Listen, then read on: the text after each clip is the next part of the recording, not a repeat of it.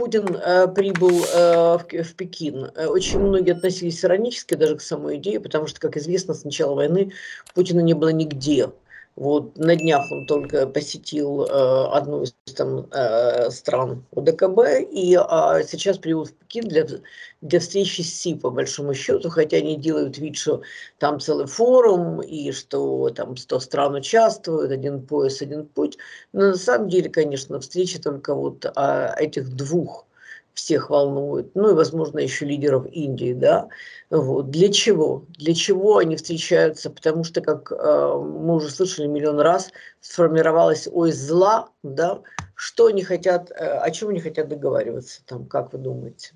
Ну, скорее всего, Путин поехал за распоряжениями КСИ. За всеми э, в мире, за всеми сейчас конфликтами стоит Китай, и КСИ ими практически управляет. А это все это все его дроны, та же Россия, Путин, э, это та, тоже Северная Корея, э, ин, это же дроны Китая. Да и Иран, можно сказать, они в основном все вопросы э, с Китаем согласовывают, действия, по, по крайней мере, по некоторым позициям. Потому Путин поехал за указаниями. И вот сейчас он, он услышит эти указания, те, которые ему будут передавать именно Си. А скорее всего, в последнее время мы видели КСИ э, были, такая тропку натоптали, ну, весь спектр политиков, а начиная от Киссинджера, предлагая э, что-то, заканчивая вот последнее время, по-моему, там и французы даже были. То есть какое-то сейчас компилированное мнение будет принято решение, и Путину это решение будет доведено. Вова, делаешь вот так. Но исходя из той риторики, которая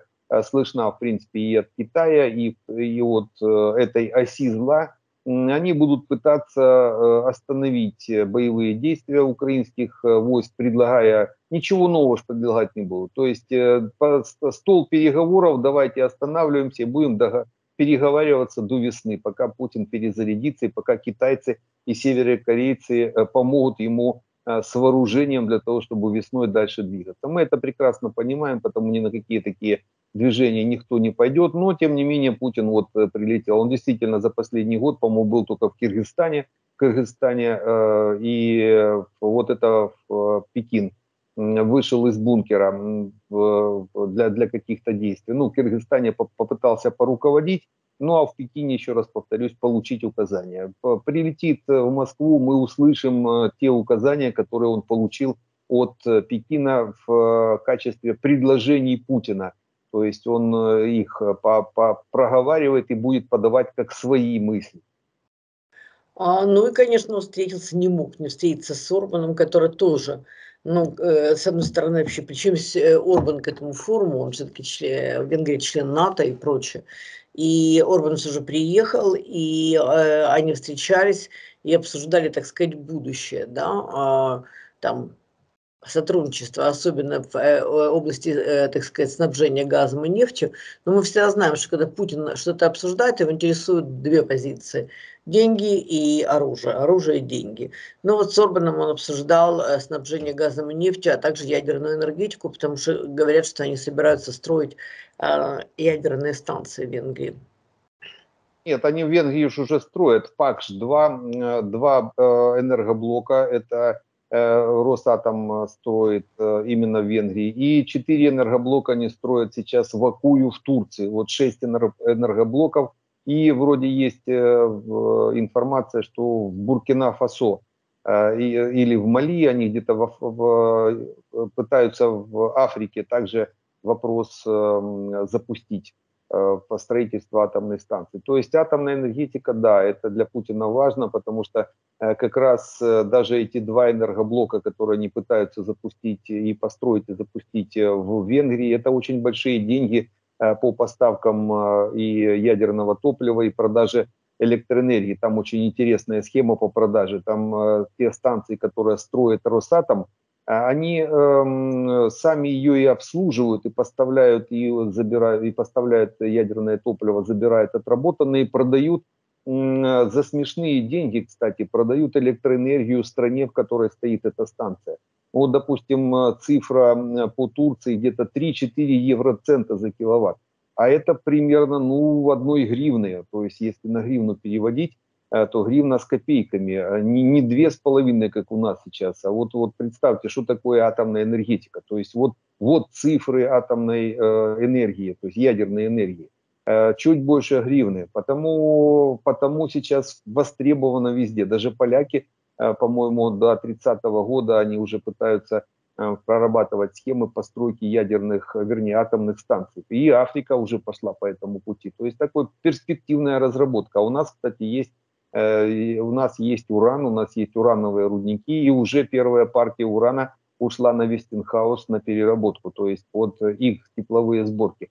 Э, очень такая перспективная тема, и я думаю, она была основной, все-таки именно ядерная Э, то есть атомная энергетика была основной. Газ и нефть это дело такое. Газ э, Венгрия может получать из Европы просто, естественно, дороже, а газ мы прокачиваем, э, и нефть, кстати, мы прокачиваем. На Венгрию нефть идет через Украину с Мозырского НПЗ.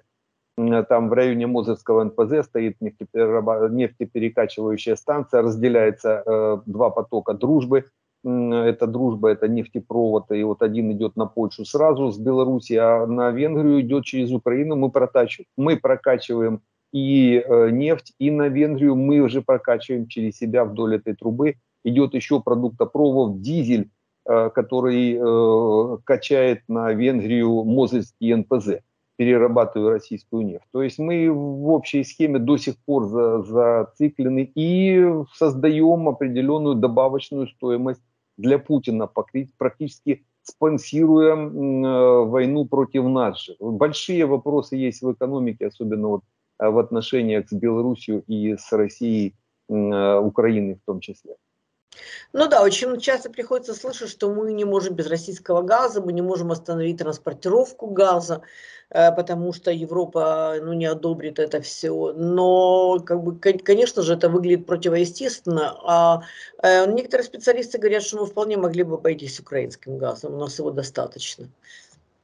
Мы, мы, точ, мы уж точно могли не качать нефть и дизель из Белоруссии в Венгрию. Ну вот чего-чего, но это уж точно могли не качать, мы оттуда ж ничего не получаем. Мы получаем за прокачку э, нефти и газа определенное количество денег чисто за прокачку от венгерских банков, да, но мы же понимаем, чей это нефть и чей это газ. А вот, чей это нефть и чей это дизель.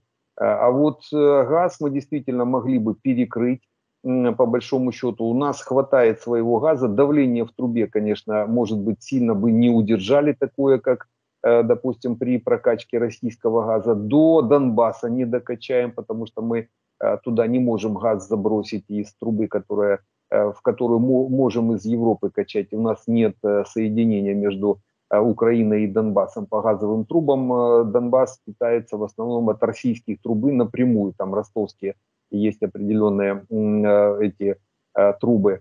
Э, аммиак, аммиакопровод идет через, через тот же Купенск и уходит, то есть идет через Валуйки, с Тольятти на Валуйки, на Купенск и уходит на Одессу. Но он сейчас не используется, там где-то подорван. А вот газ остается таким, в принципе, серьезным продуктом, который, который мы для России практически качаем на Европу. Если э, в конце концов вопрос возникнет включить реверс, мы можем из Европы наполнить трубу, э, не докачаем только до Донбасса. Там вопрос по-другому надо решать, там Донбасс придется переводить на э, энерго, на, на теплоту от, от энергоснабжения. То есть там это как раз возможно.